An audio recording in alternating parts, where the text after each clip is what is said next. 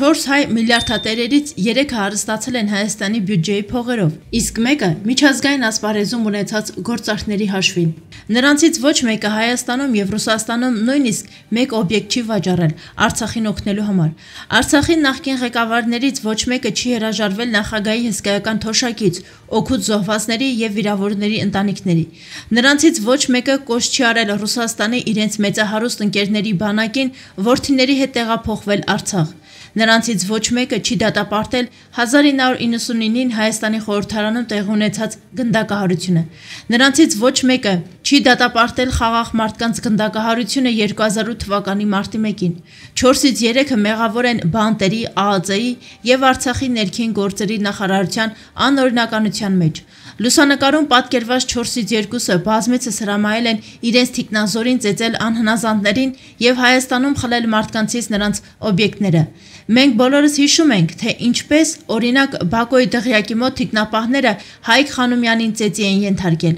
Բոլորը 4-ն էլ ոչինչ չեն արել Լևոն Հայրապետյանին փրկելու համար։ Իսկ Ռուբենը նույնիսկ հերախոսը չէր վերցնում, երբ Հայրապետյանը զանգում էր իրեն օգնություն խնդրելու նպատակով։ Լուսանկարում պատկերվածներից 4-ից 3-ը չեն կարողանում խոսել գրական հայերենով։ Այս լուսանկարում պատկերված 4 դեմքերից 2-ը Հայաստանի բյուջեի հաշվին պահում են իրենց երկրորդ կանանց։ Երկրորդ կանանցից մեկն ունի 550 հազար ԱՄՆ դոլարի անշարժ գույք Հայաստանում եւ Արցախում։ Օբյեկտները ձեռք են բերվել 2014-2020 թվականներին։ Մյուսի երկրորդ կինը 280 հազար ԱՄՆ դոլարի անշարժ գույք է ստացել Երևանում եւ Ստեփանակերտում։ Ստեփանակերտի պետական հաստատություններից մեկի նկողային հարկում գտնվող շինությունները որպես մասնավոր սեփականություն են ձևակերպված մի տիկնոջ վրա։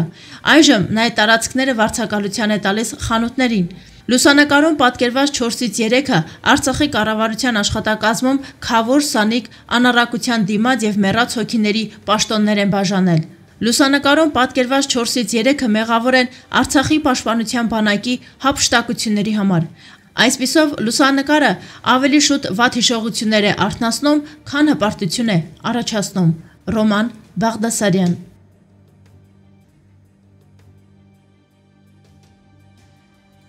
Ինչ ենք մենք ուզում ազնիվ աշխարից։ Ինչ։ Ինչ ենք մենք ուզում ինքներս մեզանից։ Ինչ։ Դարձել ենք մի բուր, ելի խելքի չեն գալիս։ Հաղթանակին անտեր ու անպաշտպան թողեցինք, ապավինելով փողին ու փարքին։ Այո, այո, եւ ելի այո, կուրացանք փողից, հանդուրժեցինք տմարդին։ Հաղթանակին որփ ու անպաշտպան թողեցինք, անտեր անտիրական։ Իսկ այսօր ինչ ենք մենք անում այսօր։ Միթե մեր ողբերգությանը թողնելու ենք անտեր, անօքնական։ Եթե դա այդպես է, մենք որպես ազգ կվերանանք, կփոշյանանք այս աշխարից։ Ում վրա է դրված մեր հույսը։ Ում ամերիկացու, եվրոպացու, թե ռուսի, թե սպասում ենք մի մեծ հրաշքի։ Չի լինելու այդ հրաշքը, քանի դեռ մենք անբանի ու ծույլի հոգեբանությամբ արտաքին աշխարից արդարություն ենք մուրում, չի լինելու այդ արդարությունը։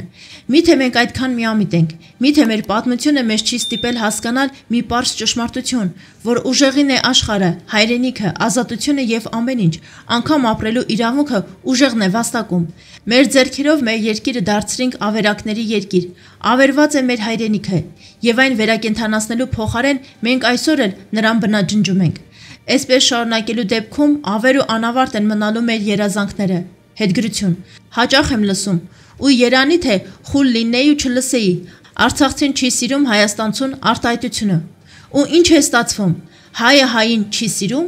իսկ ում է սիրում հայը ընդհանրապես։ Ում։ Ու այս փառահեղ տրամաբանությամբ մեզանից օտարել ու շարունակում ենք հրաժարվել մեզ հայերից չսիրող հայերից, ու այս ստորագույն տրամաբանությամբ ուզում ենք գոյատևել, հայրենիք ունենալ, Աշխարհում ոչ մի հայ թող չկարծի, թե Արցախը Թուրքին զիջելով Հայաստանն է փրկվում։ Ոչ եւ հազար անգամ ոչ։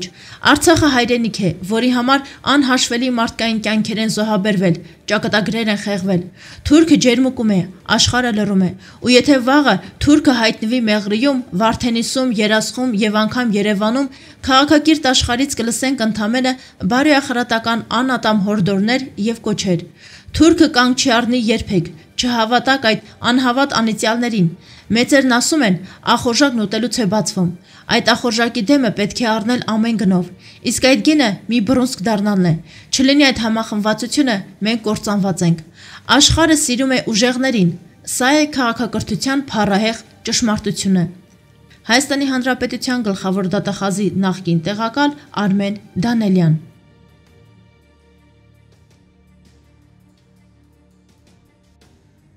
Համաշխարհային դարավոր պատմությունը ապացույցն է, որ մեկ ուժեղ անհատը կարող է պատմության անիվը շրջել, շրջադարձ կատարել։ Օտարների շրջապատում նրանց վայրագությունների շնորհիվ հայը կորցրեց իր հերոսական կերպարը, անկոտրում կամքը եւ խոնարհվեց։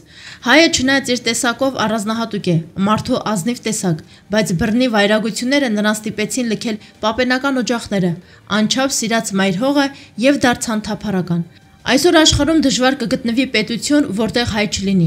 որ երկրում էլ բնակվել է, ընդունել եւ հավատարիմ է մնացել նրա օրենքներին, իր տեսակով, մտքի գոհարներով շենացրել է օտար երկրները, դարձել այդ երկրի պաշտպանը։ Հայաստանը թալանել, մաս-մաս իրար մեջ են բաժանել հարևան երկրները, բայց բոլորին էլ պետք է եղել Հայաստանը առանց հայերի, այնպես որ հայը ընկեր բարեկամ չի ունեցել, շողոքորթել են իրենց դիրքերը ամրապնդելու համար։ Չերկարացնեմ, Դարավոր պատմության եզակի, ինքնատիպ, զտարյուն, նախապապերի հերոսական ոգով տոգորված անսահման հայրենասեր հայը Նիկոլ Փաշինյանն է։ Իզուր չի նրան Էդվինը Նիկոլ անկոտրելի ասում։ Իրոք անկոտրելի, համառ, հզոր, հայրենիքի ժողովրդի նկատմամբ անսահման սերը ոգեշնչող ուղղորդողն է Նիկոլ Փաշինյանը։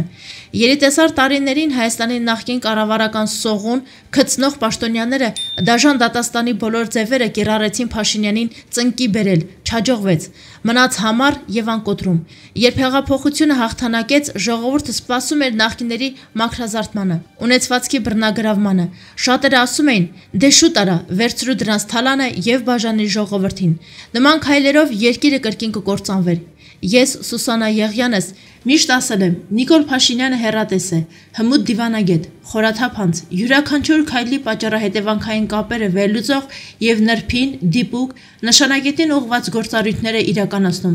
Նրա համբերատար, մտածված քայլերը արթնացրեցին, սթափեցրեցին ազգին, բայց անհասկ, տգետ, իր մեջ զարմացած դունդուկները չտարբերեցին, չհասկացան ինչ է ժողովրդավարությունը։ Որոշները գարնանը ազատ արձակված հորթիկների պես անբաղ զամբաղ դուրս էին տալիս,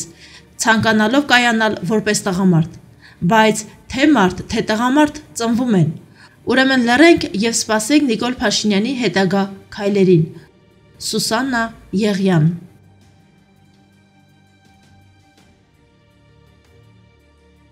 Հայաստանի Հանրապետության բարեկամ երկրները համարում են, որ Լաչինի միջանցքի փակումը հետևանքն է Արցախի չլուծված հիմնահարցի եւ փորձում են համաձայնեցնել Ադրբեջանի հետ Արցախ մշտադիտարկման խումբ ուղարկելու խնդիրը, այդ թվում բնապահպանական հարցերով։ Մշտադիտարկման խմբի գնահատականով է ՄԱԿ-ի խաղարարի կամ զսպող ուժի մանդատ տրվում։ ՄԱԿ-ը նման մանդատ կարող է տալ նաև տեղում կանգնած ռուսական ուժերին, բայց այդ դեպքում նրանք պետք է գործեն ՄԱԿ-ի կանոնադրությամբ եւ հովանու ներքո։ Բնականաբար Ադրբեջանը, իմ կարծիքով, նաև Ռուսաստանը շահագրգռված չեն տարածաշրջանում նոր ուժերի հայտնությամբ։ Հետևաբար Ալիևը նման սցենարի ճնշումից ազատվելու համար փորձելու է ԼՂ իշխանության հետ անուղակի համաձայնեցնելով միակողմանի դիտարկում անցկացնել Ծաղկաշենի հանքավայրում եւ մետալուրգիական համալիրիչ աշխատելու համաձայնություն ունենալով բացել ճանապարհը։